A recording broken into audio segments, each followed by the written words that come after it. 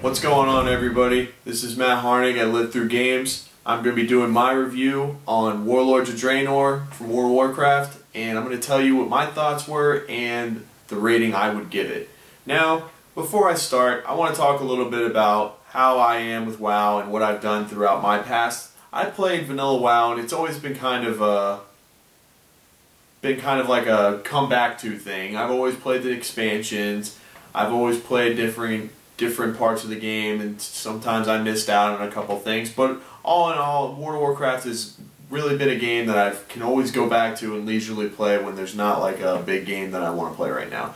But I do always come for the launches of the expansions because they're always fun and exciting and it's nice to see it be an involved world and you see other characters questing and whatnot. But um, at the start of the launch, the game had some minor problems with uh, getting into the game, long queues, things like that, but it took a little bit, maybe about probably the weekend, and then that was, and after that it was pretty uh, simple to get in from there. So it wasn't something that Blizzard had to work too hard with, but and the next time I think they should probably try and find a better solution than just making a limited amount of people be able to get on and wait pe make people wait three hour queues to get on because then it makes people feel like they have to play because they log out and do something different. They're going to get kicked off and have to be in queue for a while again. Other than that let's go on to the expansion itself. Now there was a pre pre-patch before the expansion actually came out where they did the new races and they simplified the um, spell spell bar to make uh, you not have so many spells and have so many of these other spells you don't really use so it kind of made it easier to get a good rotation and different kind of buffs and debuffs to like know which ones to use at what time. I thought it was good because it simplified my characters as far as my main Warlock, which I absolutely love playing. Um, it made me be able to go down to having instead of six, seven big, big rotations, it was more now like four. I like got my four or five big moves that I do, and it was just, just a lot easier for me. And also, it was nice to see the new race looks and how they made it look different and made the characters get a kind of an upgrade to make them look 3D, make them look more fluid, things like that. And they kind of just did a really good job. And they only did this, of course, with the older races like your warrior, your your humans, your uh, your orcs, gnomes, so on. But um, there were some minor bugs and minor stupid little looks that I didn't personally like, but all in all, it was a good jump for WoW to do that. I think it was a good thing to say, hey, we want to keep ourselves relevant. It's been 10 years.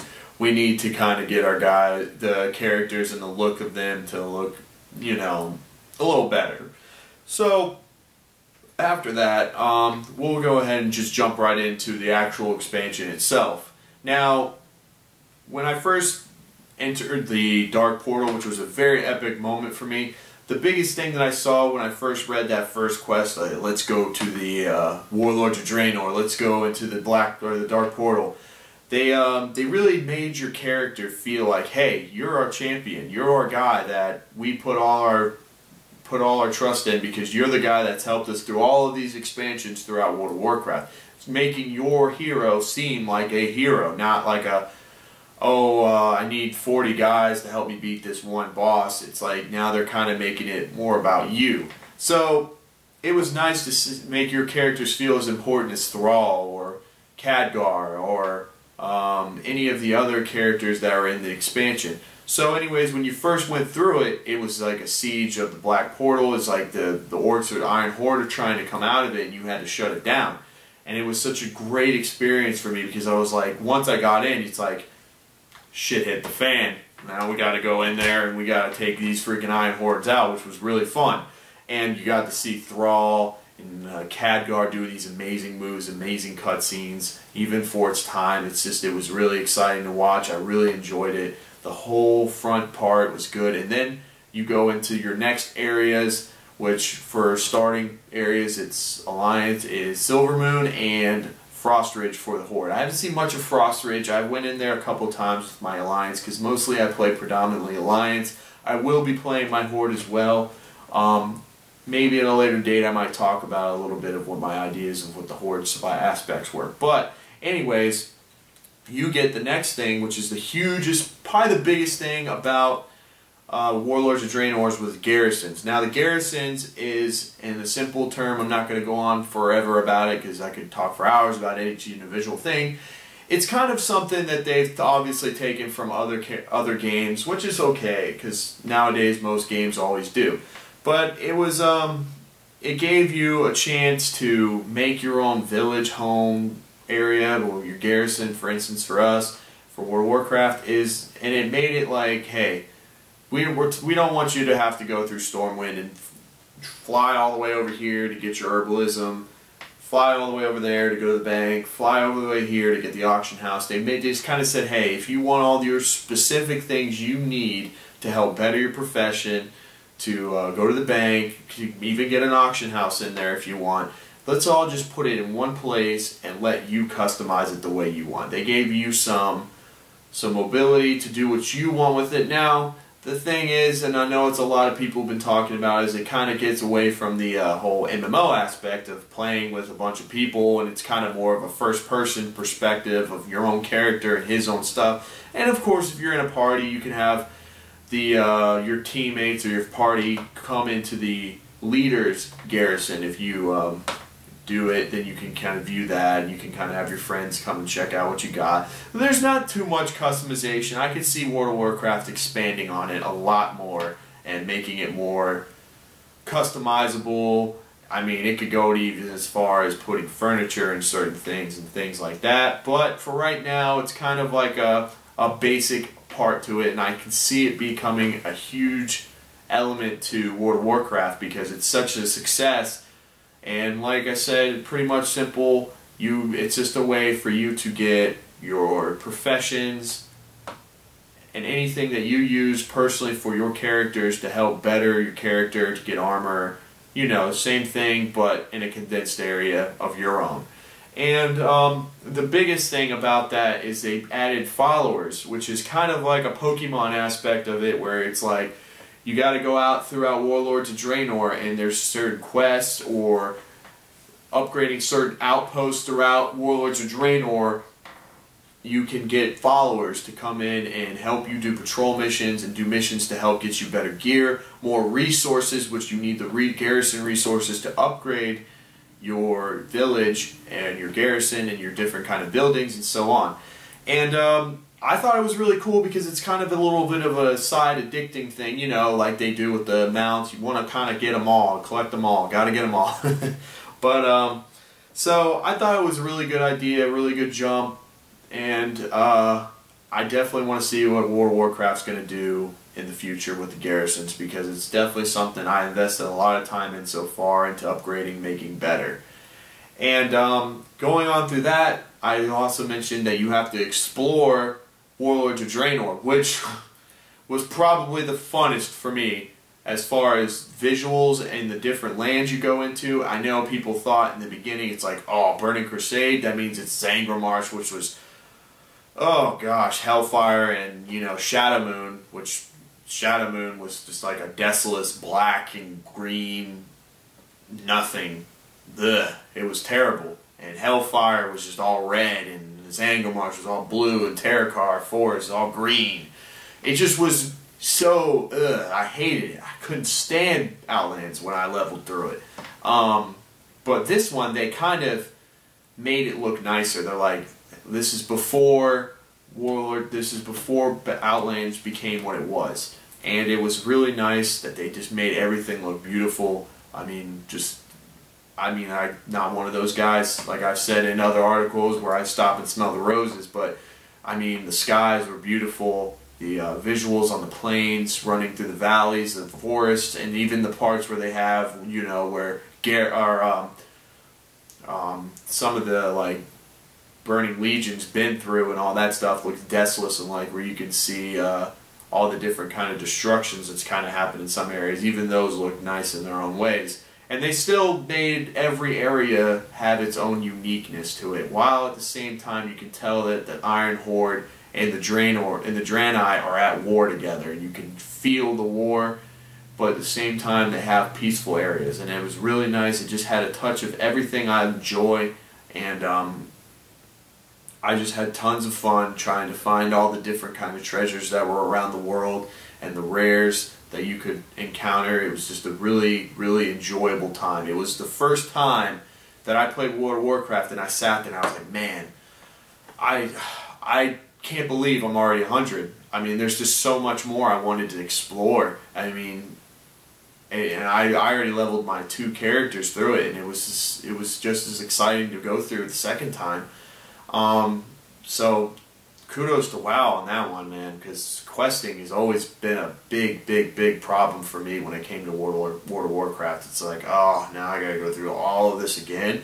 But no, for Warlords of Draenor, it was it was perfect as far as war for World of Warcraft's terms. It it was just a really, really, really exciting thing to go through. But um, I think another reason why questing was so much fun for me is because they made the story you know you want to you actually wanted to see what it was about. It was like not just gathering quests and going out and killing so many of these and then then like well why did i do that? Now it's kind of like you want to read the quest you want to see what's going on you want to see because you're finally introduced into like the game. When you first go in you see all the villains you're going to be messing with. You see the characters they're individually showing you them showing who you're going to be dealing with throughout this expansion and it's like like I said with your character, they're making your character feel like he's the champion, he's the guy that's been there all this time helping you out through all that. So you're a big deal, and now they're showing you that hey, these are the villains you're going to go up against you need to take these guys down. And in the future raids, which I couldn't talk about because the raids aren't coming out until December 2nd, and I didn't want to procrastinate any longer in getting this out. So I will talk about the dungeons, which is where you're going to see majority of your bosses and your big characters at, of course.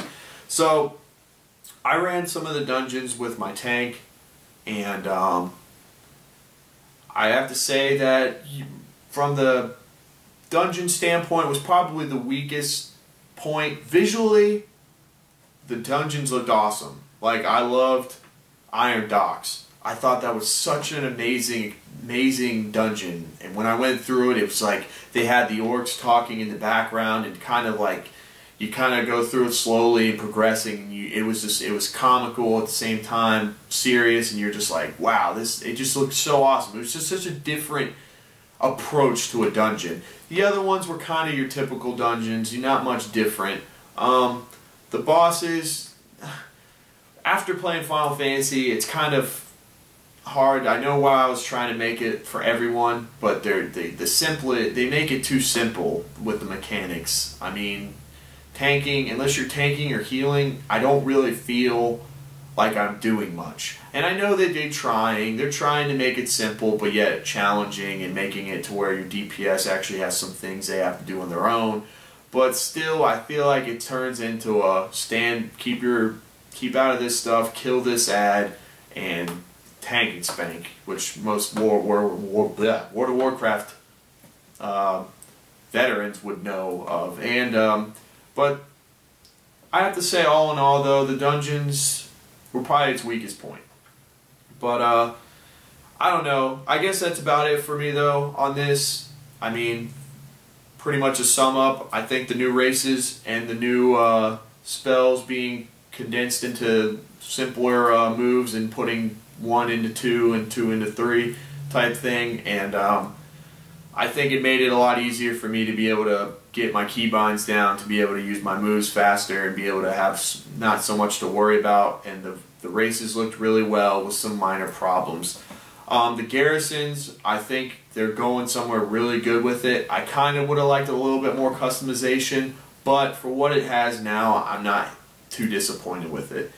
The looks of World of, War, of Warlords of Draenor is probably the biggest thing I loved. It was an area I totally enjoyed going through each area and exploring and seeing all the different landscapes and all the different area, all the different items that you could get from all the rares and searching and really wanting to explore. And the fact that they kept flying out of it and making you have to use land mounts was a really good approach and I'm proud. WoW did that. And I hope honestly they don't even bring flying flying in for a very long time. I, I've heard rumors they say in future patch they're going to allow it again but it just brings more people together. It's nice to see it go to like a vanilla WoW approach of making you feel like, oh, there's a guy riding by me, or you can see a guy off you know, collecting herbs or mining or see that guy over there finishing a quest. And it just kind of brings more people together in a way. It made me join random groups a lot more because it made me want to go in there and kind of work together to get something done faster.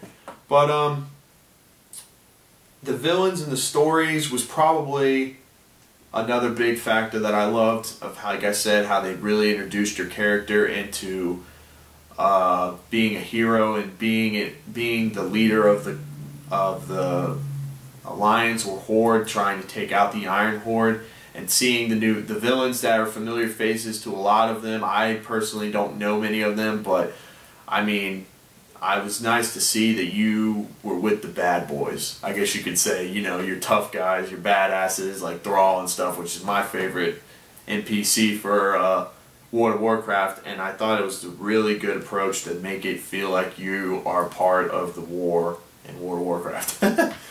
um, but anyways, if I had to give this game a rating, I would give it an 8.5 because I think this is probably my favorite expansion towards World of Warcraft, I will say that. But there were some minor problems I had, plus there was a little couple of connection problems they had in the beginning. But all in all, Warlords of Draenor was a very good expansion, my favorite expansion, and it took this long for them to make that. And I mean, uh, but I'm not saying any of the other expansions were terrible, but the jump from Mists of Pandaria to Warlords of Draenor was a great jump, and I Loved every second of it. I'm gonna I'm still continuing to play it and I don't plan on quitting anytime soon. And even if I do, I know I'll be coming back when a new big patch or big raid comes. So thanks for listening guys. Uh, if you guys want to leave any comments below about uh, World of Warcraft, anything about that, or if you want to get my gamer tag for uh, World of Warcraft, um, my Battle.net is email is Matt Harnig, M A T T H-A-R-N-I-G at yahoo.com. I'll write that down below and tell you so you guys can uh, find it and uh, just send me a friend request and if you guys want to do any uh, dungeons or you want a PvP which I'm really into uh, just send me a send me an invite or send me a message and uh, I'll be glad to play with you guys. Uh, thanks for listening.